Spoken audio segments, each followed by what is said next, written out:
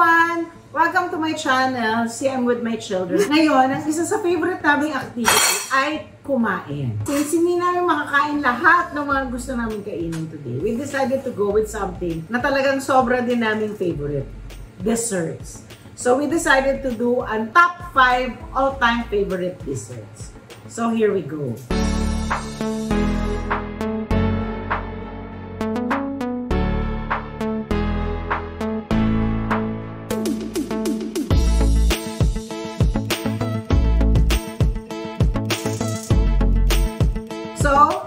First one is Ito favorite namin ever since. Russian cupcakes. Medyo pricey siya for cupcakes, but oh my god, they're the best.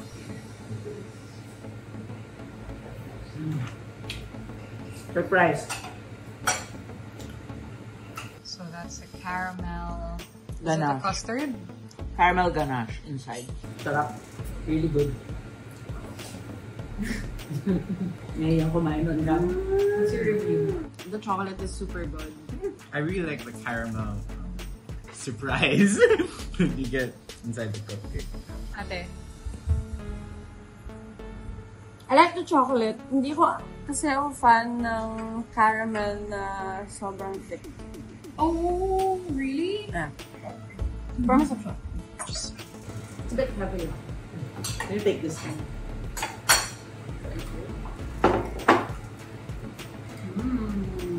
Sobrang sarap. Sobrang favorite ko to. It's really the best. Okay, what's next? You want? I guess we could just go on chocolate and then chocolate. Okay, the story of this cake, this chocolate cake, Cakes by Luis. Originally, nung bata kami, it was Cookie Monster cake. Si Cookie Monster may tindahan siya. Of course, kilala natin si Cookie Monster from Sesame Street. It's a simple chocolate cake. Kaya lang, ang pinaka gusto ko sa kanya, yung design ng chocolate cake niya, hindi siya super intricate ah. Tinidor lang yung ginagamit, ginaganon lang siya sa icing. But, the chocolate cake, sobrang sarap. It's very simple, pero ang sarap niya. Tsaka, I really believe that food transports us into our past, into uh, the memories that we cherish, whether nung bata tayo or nung, nung first kiss natin, first date, or whatever. So, itong dessert na to really transports me sa aking childhood because my titas, my mom, sobrang love namin ito. Pati si Jen. Yan na, let's go. Chocolate cake. Naalala ko sa cake na yan si ano. Matilda. Oh my God! Oh, yeah. Diba? Matilda. Okay. So, hati-hati muna tayo. Okay, you see? It also has caramel in between as the ganache. Tapos yung cake niya, hindi siya masyadong dark chocolate, which I like very much. Tapos yung icing niya, sobrang simple lang. And believe it or not, the girl who bakes this, she's not even 20 years old. What? She's not even 20 years old. She makes this with her mom.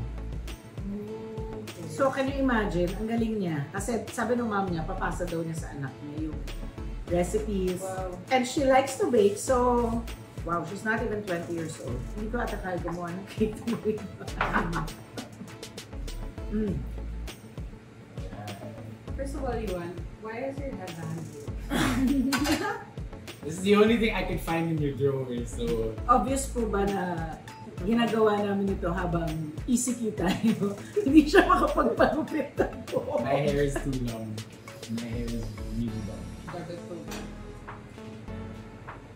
You really gotta get the, the, the inner filling. Like the inner, Caramel. Yeah, you really gotta get that. I can't. I can't say it. It's too good. Iniiwasan mo talaga yung caramel. Hindi ko nga kasi gusto caramel and chocolate together. Ano ko ba? Why? What's wrong with Huh? you? Or baka it's too much It's too much for me. Mm. That's good. So ito yung ano, weird child. May mga times na I don't like two things together. But individually gusto ko siya. Ito yung talagang cookie monster dito sa amin. So she's the one who really loves, loves, loves, loves dessert. Yung kahit busog na busog na siya, kailangan mag-dessert siya. Para siyang si Jenny. Good. I like it. Nina, ikaw mag-decide ng next. Ito, the brazo. Okay. Uh, do we need change plates or change Change plates? Change plates. Okay. Mm, si ano na. No, just get a get one plate to share. Okay. Yeah. Hindi, kaya hindi naman ako. I want an individual slice. Kala ko busog ka na. Mamaya, mamaya ka na mag-individual slice. Kakainin muna natin lahat. Okay, next we have the Brazo de Mercedes. Then that's from Vargas Kitchen. Ang favorite namin dyan, they have lots of uh, cakes also. They have butter cake, which is also a favorite in this house. Pero, we decided to go with Brazo de Mercedes para ma-showcase naman yun. Kasi sobra din love nila. Alam mo yung Brazo de Mercedes nila, yung small order nila. Nakalagay sa microwavable na ganyan. Hindi siya tumatagal ng isang araw. Kasi pag nilagay mo siya sa ref, mayat maya, babalikan mo siya. So, hindi mo na kailangan ng plato and before you know it, it's gone.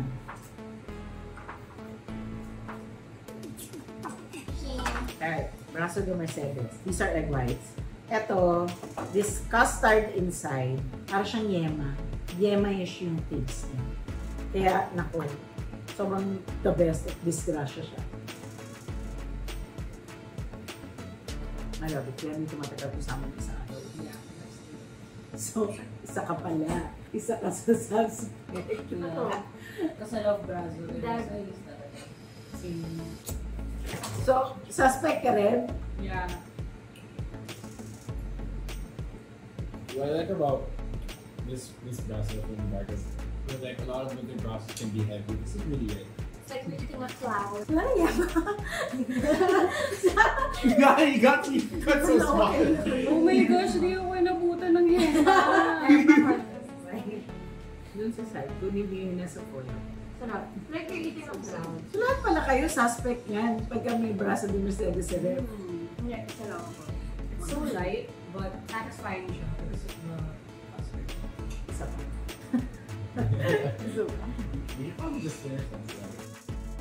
Next is the red velvet from Oh, which is our very favorite. Very favorite. Yes. Custard. Huh? Sorry, so no. Sorry. I'll get one too. Sorry, I'm kidding, I'm kidding, I'm kidding, I'm kidding, I'm kidding. Okay, red velvet cupcakes. Hindi namin alam what red velvet cupcakes were all about. And then we heard of Sonja's cupcakes. Tapos yung, she was on TV, she was uh, talking about cupcakes kasi she came from the States. Hindi ko alam yung red velvet. And I was super curious kasi red velvet, pero sinasabi niya chocolate. So finally, I visited her store. Nakilala ko siya. I tasted the cupcakes and I love it. Until today, this is my ultimate cupcake flavor. I mean, after this, chocolate. And I really love her cupcakes. Sakto lang yung cream cheese frosting niya. Tapos sakto lang yung, yung pagka, pagka-red niya, hindi siya dark red, hindi siya maputlang red. It's, so, when you bite into it, oh my God, it is the best. So we get our own. Yeah. Kaya kong gawin. What can you get those of? Bangat pa. The cream cheese frosting, kailangan may konting acid yan eh, kasi medyo rich ang cream, cream cheese. But it's just really, really, really, really, really the right balance. That's why this is my ultimate favorite. Tapos gusto ko yan, may yung color red niya. Ano ba? Yeah, no, wala naman sabi. No, but I agree. Actually, if there was like a go-to cupcakes, it's always this. Kasi hindi siya nakakasawa. Before when I was younger, I used to like another cupcake and like I used to not like red velvet. Because from Sanja's I usually get the vanilla sunshine or the pound cupcake with like the blue frosting on top with sprinkles. But as I grew older, and then I started eating more red velvet. because Atakala used to also make red velvet cupcakes. And then I tasted this one. Then I was like, the best one. Ikaw na.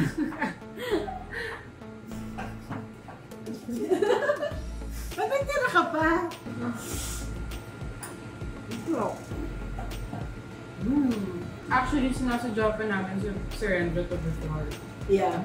But ako, feeling ko, ako parang sa akin, if I'm going to buy the red velvet cupcakes, parang feeling ko, it's always nice to go to the original brand. Yeah. It's uh, nostalgic because That's where I first tasted it.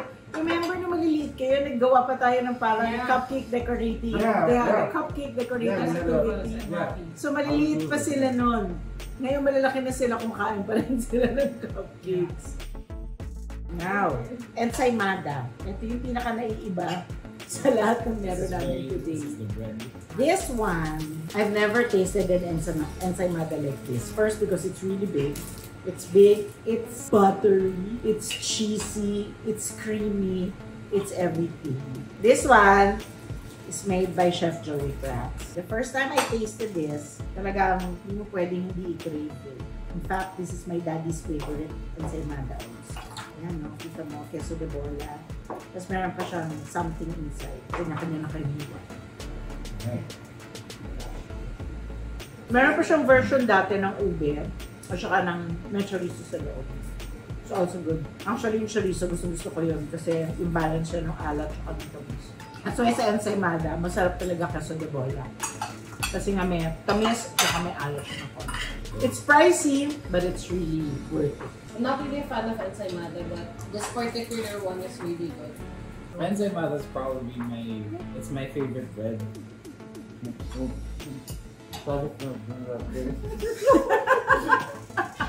What, what, what? Wait.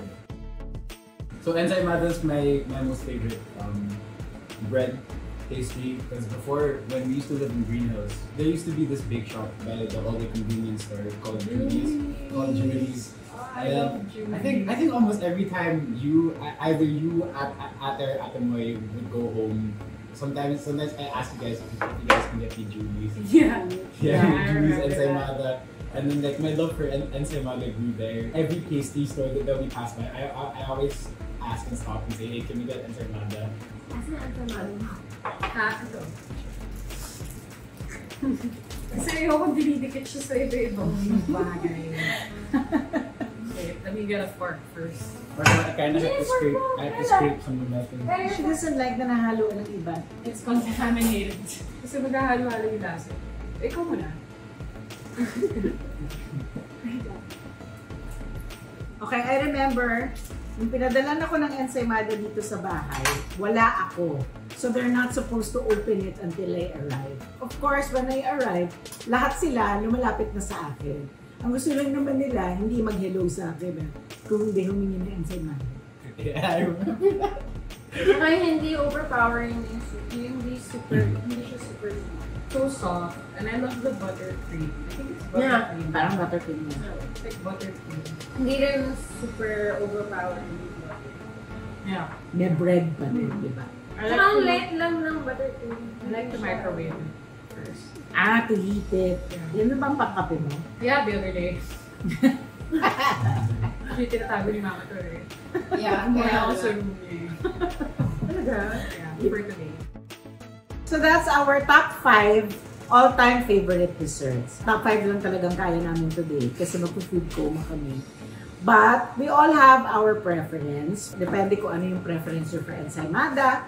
Meron din naman kayo preference for braso de Mercedes, for chocolate cake, for chocolate cupcakes, or red velvet cupcakes. These are our preferences. For the ensaymada, it's Luxury Sweets by Joey Prats. Look them up on Facebook. And for the Brazo de Mercedes, it's Vargas Kitchen. They're on Facebook. They are on Instagram. And you can order from them directly if you have their number. Red Velvet Cupcakes from Cupcakes by Sonja. That's in Serendra. Uh, they're on Facebook. They're on Instagram. Roshan. Roshan doesn't only have cupcakes. She has other things too. So you can find her on Facebook, right? On Facebook. On Facebook And they have a website. and they have a website. And for our chocolate cake, Cakes by Louise. Si Louise po yung sinasabi kong less than 20 years old na nagbe-bake ng cupcakes. They also have a really good banana cream pie, so if you'd like to taste it. They're on Instagram. They are also on Facebook.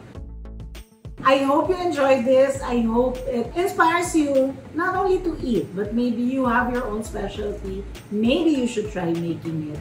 Madala nyo kami. So we'll see you again here on Super Janice. Don't forget to like, to subscribe, and press the notification button. Okay guys, meron ba kayong mga sarili-sarili yung Instagram at uh, YouTube accounts? Huwag na, alam na nila yan. Wala. So ako lang. Food kami. Okay. Bye!